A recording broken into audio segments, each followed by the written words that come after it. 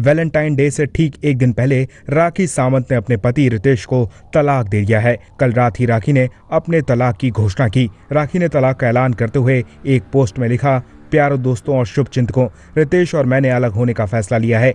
Big boss show के बाद बहुत कुछ हुआ और मैंने कई सारी ऐसी चीज़ों का सामना किया जिसमें मेरा कोई कंट्रोल नहीं था। हमने काफ़ी कोशिश की कि चीज़ों को ठीक किया जा सके, मगर कुछ काम नहीं आया। हम दोनों के लिए यही बेहतर था कि हम हमेशा के लिए अलग हो जाएँ और अपना जीवन अलग अलग गुजारें। मुझे ये सोचकर बहुत अजीब लग रहा है कि मुझे ये सब आप लोगों को वैलेंटाइन डे से ठीक पहले बताना पड़ रहा है। मेरा दिल टूट गया है, मगर निर्णय लेना ज़रूरी था। मैं रितेश को आगे के जीवन के लिए ढेर सारी बधाइयाँ देती हूँ। साथ ही मैं खुद भी अब अपने आगे के करियर पर फोकस करना चाहती हूँ। मैं खुद के जीवन को समय देना चाहती हूँ। मैं एक खुशहाल जीवन जीना चाहती हूँ। मुझे समझने और मेरा समर्थन करने के लिए आपका शुक्रिया।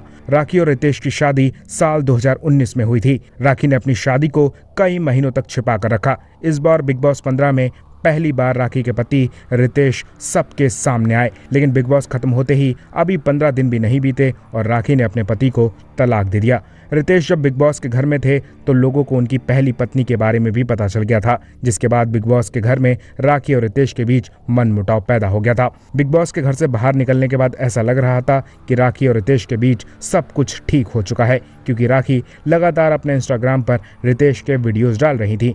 हैरानी की बात तो ये भी है कि अपने तलाक का ऐलान करने से महज दो घंटे पहले ही राखी ने रितेश का ये वीडियो भी शेयर किया था, और उसके दो घंटे बाद उन्होंने तलाक का ऐलान कर दिया। फ़िलहाल इस पूरे ड्रामे पर आपका क्या कहना है? अपनी राय हमें कमेंट में दीजिए और ज़्यादा ऐसी अपडेट्स के लिए हमारे चैनल को सब्सक्राइब कीजिए।